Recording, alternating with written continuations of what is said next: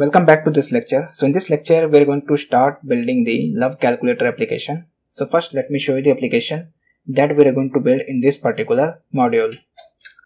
So you can see this is the final version of the application, which is a Love Calculator application. So here we have to enter the name of the, like you have to enter your name and then here you need to enter your partner name. Like if I enter here a different name and if I click on the calculate, then it's going to calculate the love percentage between these two persons.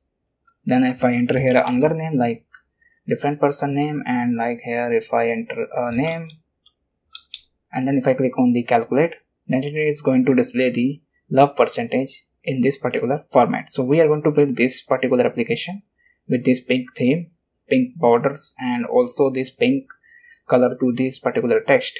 So the first step is we need to start with the html part of the project